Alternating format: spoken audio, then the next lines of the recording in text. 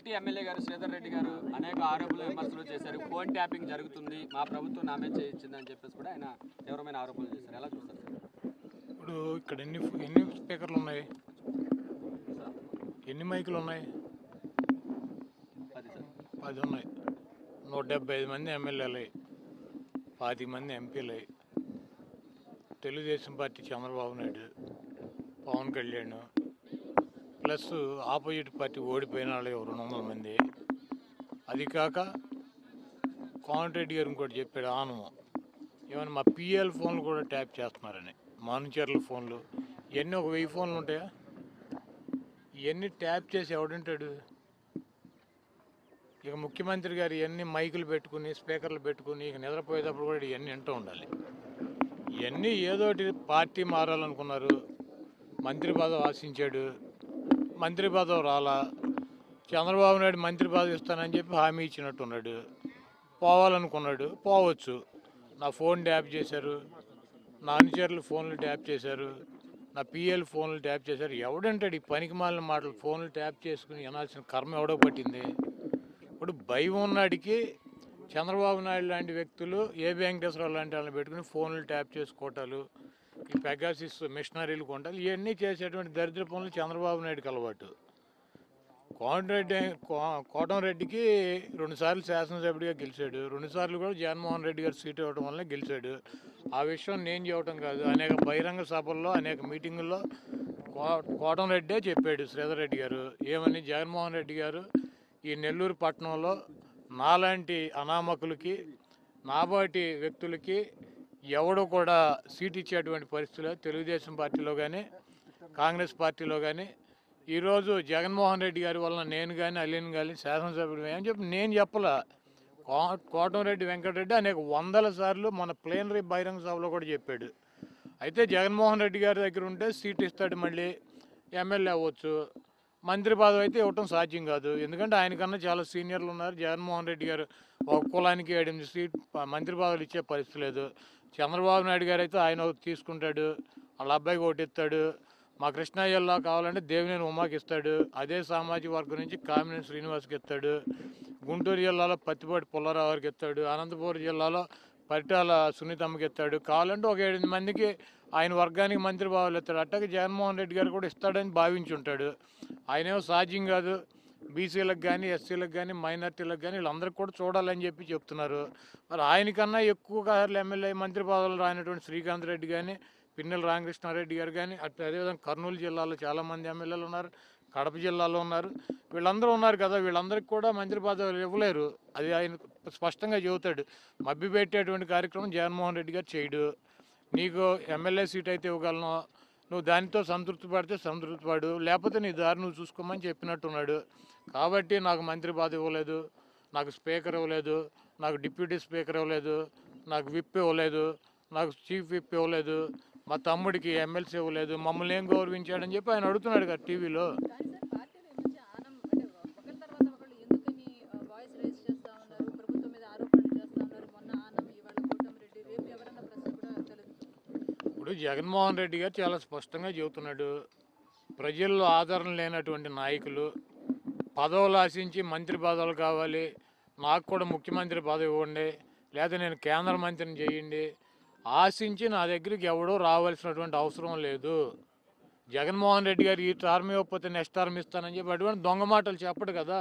ముక్కుసూటిగా చెబుతాడు నీకు ముఖ్య మంత్రి ఎమ్మెల్యే సీట్ ఇస్తా నువ్వు పోటీ చేయి. నీకు మంత్రి పదవి ఇవ్వడం సాధ్యం కాదు అన్నదే ఆయన స్పష్టంగా చెబుతాడు. క్యాబినెట్లు ఎవరిని పెట్టుకోవాలి ఎవరిని తీసేయాలి అన్నదే ఆయనకి సంపూర్ణమైనటువంటి హక్కు ఉంటుంది. కులాలు చూడాలి. బీసీ ఎస్సీ ఎస్టీ మైనార్టీ ఉన్న ఇరవై ఐదులో నూట యాభై ఒక్క మంది ఎమ్మెల్యేలు ఉన్నారు. ఇరవై ఐదు మందికి ఇవ్వగలిగారు. నేను నాలుగు సార్లు శాసనసభ్యుడు గెలిచారు నా సంవత్సరాలు మంత్రి పదవి ఇచ్చాడు. తర్వాత నాని ఈ కారణాల వల్ల నువ్వు తప్పుకోవాలన్నాడు మీ ఇష్టం సార్ మీరు ఎట్లా కావాలంటే చేసుకోమని చెప్పాం. పేరు నాని గారు కూడా నాలుగు సార్లు పోటీ చేసి నాలుగు సార్లు గెలిచాడు. అనేక మంది కనీసం శ్రీకాంత్ రెడ్డి గారు కావచ్చు లేకపోతే అదే జిల్లాలో ప్రసన్న కుమార్ రెడ్డి కావచ్చు వీళ్ళందరూ కూడా నా మాకన్నా సీనియర్లు కదా. నాలుగు సార్లు ఐదు సార్లు గెలిచారు. జగన్మోహన్ రెడ్డి గారి కోసం పార్టీ ఎమ్మెల్యేలు గుండి రాజీనామాలు చేసి ఎన్నికల్లో పాల్గొన్నటువంటి వ్యక్తులు ఉన్నారు. ఇప్పుడు బాలినేని శ్రీనివాస్ గారు ఉన్నాడు ఆయన ఎప్పటి నుంచి తొంభై నుంచి ఎమ్మెల్యే. జగన్మోహన్ రెడ్డి గారి కోసం మంత్రి పదవి వదిలేసుకున్నాడు. మంత్రి పదవి వదులుకొని వచ్చి రిజైన్ చేసి మళ్ళీ ఎమ్మెల్యేగా పోటీ చేశాడు. రెండున్నర సంవత్సరాలు మంత్రి పదవి ఇచ్చాడు. ఆయన బాధపడ్డాడు. అయితే జగన్మోహన్ రెడ్డి గారు పిలిచాడు మాట్లాడాడు. ఈ కారణాల వల్ల ఈ పరిస్థితుల్లో నీకు ఇవ్వలేకపోయాను. నువ్వు దీన్ని అర్థం చేసుకోమని చెప్పాడు. అర్థం చేసుకునే వాళ్ళు అర్థం చేసుకోగలిగారు అర్థం చేసుకోలేక పదవే కావాలని చెప్పి గబ్బిళ్ళలాగా ఏలాడేటువంటి వెదవలాడు ఉంటే నలుగురు పది మంది పోతారు. దానివల్ల ఏం జరుగుద్ది? వెళ్తా వెళ్తా ఫోన్ ట్యాపింగ్ జరిగింది. ఈ పనికి మాలిన వాళ్ళు ఫోన్లన్నీ ట్యాప్ చేసి ఇవన్నీ ముఖ్యమంత్రి గారు వైర్లన్నీ స్పీకర్లు పెట్టుకుని ఇక ఇరవై నాలుగు గంటలు ఇలా పనికిరాని సోది అంటూ కూర్చోవాలి అంటే ఈ ఆరోపణల వల్ల పార్టీ డ్యామేజ్ ఏం కాదంటారా ఎందుకు వద్దమ్మా? ఒకడో ఇద్దరు ఇరవై మూడు మంది ప్రతిపక్షంలో ఉండగా తెలు వై తెలుగుదేశంలో జాయి జాయిన్ అయ్యారు మా దగ్గర నుంచి వెళ్ళి. ప్రతిపక్షంలో ఉండను కానీ ఇరవై మూడు మంది పోతే పోకోటి వాళ్ళు పార్టీకి ఏం డ్యామేజ్ అయింది? దాంట్లో ఎంతమంది గెలిచారు? ఒకటి గెలిచాడు. ఇరవై రెండు మంది గాలికి కొట్టుకుపోయారు. అరవై ఏడు మంది శాసనసభ్యులు ఉంటే ఇరవై మూడు మంది పోయారు అధికార పార్టీలోకి. జగన్మోహన్ రెడ్డి గారు ప్రతిపక్షంలో ఉండగా. ఏమైంది? Party damage? వెళ్ళి నా కొడుకులు డ్యామేజ్ అయ్యింది. జగన్మోహన్ రెడ్డి గారికి ఏం డ్యామేజ్ అయింది ప్రజల్లో బలం ఉండాలి చేసే పనిలో నీతి ఉండాలి నిజాయితీ ఉండాలి. ఒక జగన్మోహన్ రెడ్డి గారు ఒక రెడ్డిలనో లేకపోతే ఒక కమ్మాలనో లేక ఇలా చూసుకుంటే కాదు కదా బలహీన వర్గాలకు ఇవ్వాలని చెబుతున్నాడు. బలహీన వర్గాలకు ఎన్ని శాఖలు ఇచ్చాడు ఆయన? బీసీలకి ఎస్సీలకు ఎన్ని ఇచ్చాడు? ఎస్టీలకు ఎన్ని ఇచ్చాడు? మైనార్టీలకు ఎన్ని ఇచ్చాడు? ఇంకా ఈ ఉన్నటువంటి అగ్ర కులాలు ఉన్నటువంటి మొత్తం వీళ్ళే తీసేసుకుంటే వాళ్ళ పరిస్థితి ఏంటి? ఉన్న పరిస్థితి ఆయన చెప్పాడు ఎమ్మెల్యేలందరూ కూర్చోబెట్టి చెప్పాడు. ఒకటి రెండు సార్లు చెప్పారు. వినేవాడు వింటాడు పోయేవాడు పోతాడు. ఏమో జగన్మోహన్ రెడ్డి గారికి ప్రజలు ఓటేస్తే వీళ్ళు శాసనసభ్యులు అయ్యారు. జగన్మోహన్ రెడ్డి గారు సీట్ ఇస్తే. ఈరోజు జగన్మోహన్ రెడ్డి గారి సీట్ అవసరం లేదు. మాకు చంద్రబాబు నాయుడు మంత్రి ఇస్తాడు అనుకుంటే అసలు ఆడు ముఖ్యమంత్రి అయ్యే పరిస్థితి లేదు. ఆడు మంత్రి ఇచ్చేది ఏంది అంటే వాళ్ళు మాత్రం మేము పోరాటం అనేది నియోజకవర్గం కోసం మా మాకు ఓట్లేసిన గెలిపించిన ప్రజల కోసం అని అంటా ఉన్నారు ఇప్పుడు అక్కడ రెండు సార్లు వైసీపీ ఎందుకు గెలిచింది? తెలుగుదేశం పార్టీ ఇరవై మూడు సీట్లకు ఎందుకు పరిమితమైంది? చంద్రబాబు నాయుడు ఏమీ చేయలేదు. చంద్రబాబు నాయుడు గాలి కబుర్లు చెప్పి గాలిలో మేడలు కట్టాడనే కదా అతను తీసి పక్కన పెట్టింది ఈ రాష్ట్ర ప్రజలు. మళ్ళీ చంద్రబాబు పార్టీలో చేరితే చంద్రబాబు ఎట్ట న్యాయం చేస్తాడు? వీళ్ళు ఏ పార్టీలో చేరతారు రేపు వెళ్ళి? రేపు వెళ్ళి ఏ పార్టీలో చేరతారు? తెలుగుదేశం పార్టీ. చంద్రబాబుని ఇరవై మూడు సీట్లు పరిమితం చేసినందుకు అక్కడ వైసీపీని గెలిపించేందుకు ప్రజలు.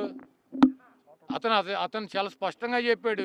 మీకు పార్టీ ఏం అన్యాయం చేసిందంటే నాకు స్పీకర్ ఇవ్వాలా డిప్యూటీ స్పీకర్ ఇవ్వాలా నాకు ఆ క్యాబినెట్ ర్యాంక్ ఇవ్వాలా ఈ క్యాబినెట్ ర్యాంక్ ఇవ్వాలా వంద మంది క్యాబినెట్ ర్యాంక్ ఇచ్చి నాకు ఇవ్వాలా కోఆర్డినేటర్ ఇవ్వాలా జిల్లా అధ్యక్షుడు ఇవ్వాలా మా తమ్ముడికి ఎమ్మెల్సీ ఇవ్వలేదని అతనే చెప్పాడు కదా.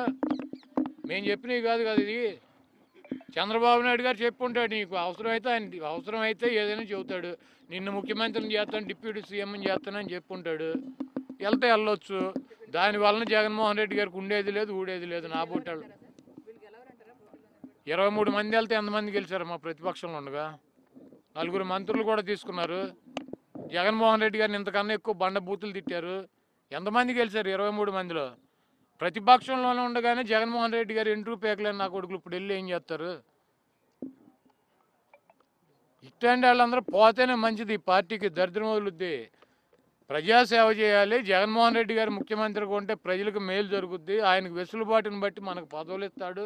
మనం ఆశించకూడదు అన్నటువంటి వ్యక్తులు ఉంటేనే పార్టీ నడుస్తుంది వ్యవస్థ నడుస్తుంది. ఎవడగాడు అంతా నాకే కావాలి నాకే పదవులు కావాలి నాకే డబ్బు కావాలి. ప్రజలు ఎట్ట గాలికి పోయినా నాకు సంబంధం లేదు. బలహీన వర్గాలు బడుగు వర్గాలు అట్ట వాళ్ళని ఎందుకు పట్టించుకోవటం? చంద్రబాబు పట్టించుకోలేదు కాబట్టి మీరు పట్టించుకోవద్దు. మొత్తం మాకే దోచిపెట్టమంటే అది సహజంగా జగన్మోహన్ రెడ్డి గారి దగ్గర. అటువంటి వాళ్ళు వెళ్ళిపోతమే బెటరు.